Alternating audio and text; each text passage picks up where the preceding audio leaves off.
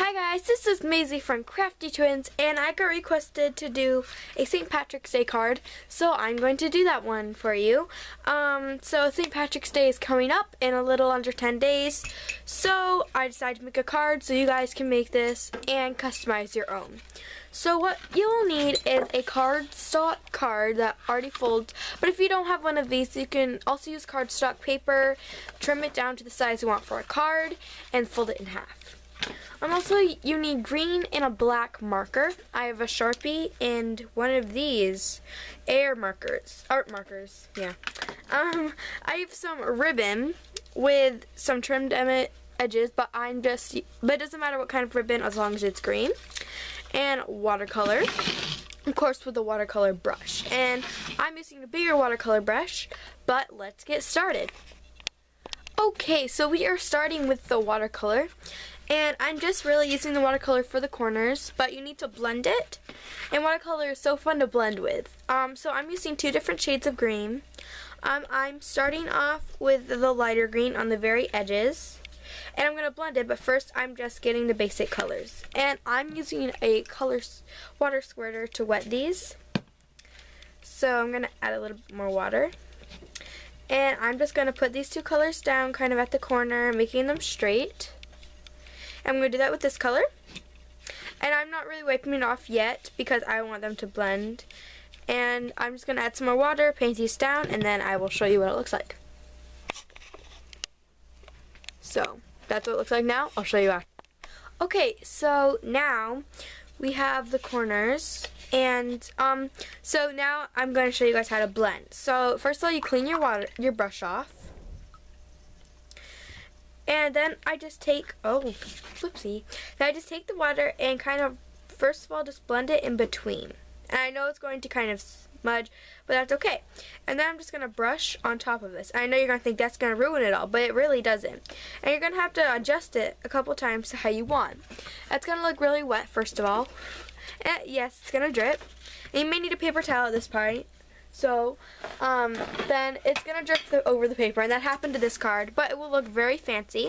And what I love about watercolors, you can just dab it, and it almost goes away. So, and I'm just going to dab the edges, and I'm just going to keep adjusting it till I think it blends good. And I can just kind of brush off what I don't want with the water.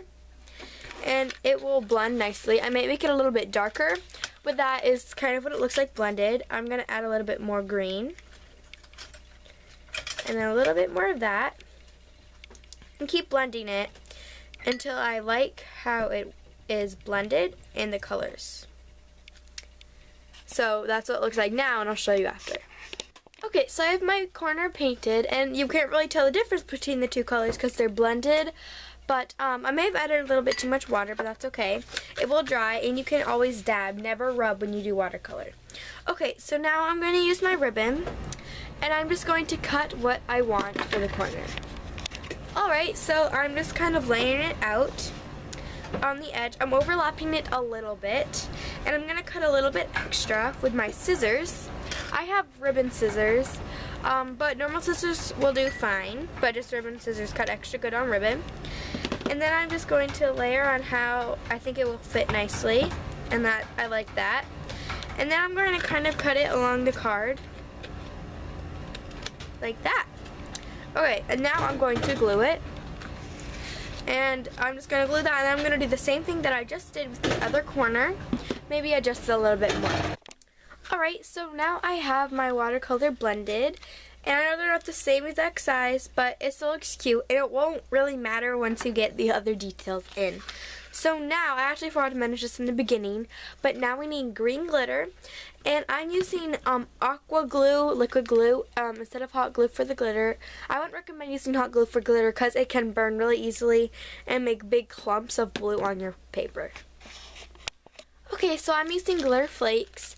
Um, they're it's same as glitter almost, but they're a little bit different product. Um, you can use glitter, it's fine. I use that for my card, but I'm just using this because I don't have any more of that green glitter. Um, so I'm just going to take this glue, and I'm almost out of it, but I'm going to squeeze out what I can. I'm just going to go against the remaining line of the paper that I still have. I'm just going to give that, with glitter flakes, um, you just get take a pinch and try not to. It's really hard to use glue and glitter because you spill a lot of it. So try not to do too much. And also, you can use glitter glue if you have that. But I'm just doing that, and I'm gonna shake it off. And that does that. It look it's green now, but it may not look very green look green in the package, but it's a little bluish, but it's still really cute, and I'm going to do that to this side also. Also, a quick tip, when you're applying the glitter, you might want to do it on top of a paper so you don't waste any of the glitter um, that you use so then you can just scrape it off and put it back on your project. Um, another tip is also if you want to use glitter glue to use for the glue for the glitter, it'll add some more sparkle and shine. Okay, so now I'm getting on with the flower that I have. Um, so I'm having this kind of um, whitish, greenish tint of green on. And this back up with a green three leaf thing. And I'm to glue this on and then I'm to glue it on the paper like this. But I'm to use hot glue for this because I'm running out of this kind of glue and it might be a little hard to stick on. So, yeah. Okay, so I've always had trouble hot gluing with these flowers, but so really be careful not to burn it yourself because that can really hurt.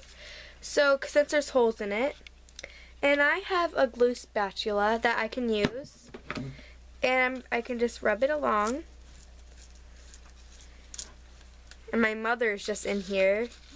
Use the glue spatula to push it so you don't glue your fingers. Okay.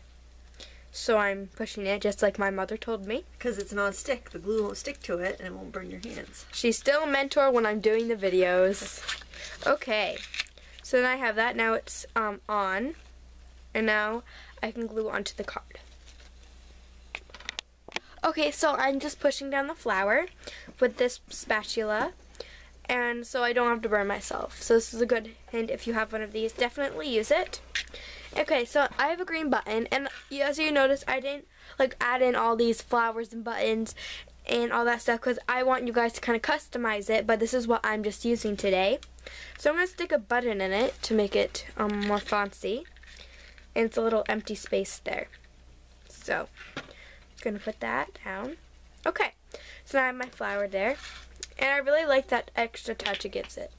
So after I did that, now I'm just going to add St. Patrick's Day with my black Sharpie. And I apologize if the heater has been on, you've heard that because it's just nighttime, water's going, and yeah. So that might have been a little bit loud. If you guys noticed that, I'm sorry about that. So I'm just going to spell it St. Patrick's Day. And then I'm just going to underline it or decorate it or emphasize it with this green. So you could like draw inside, make it like that, or you could just underline it. Whatever you want to do. I circled them. But really just do what you want to do. I'm just showing a couple examples.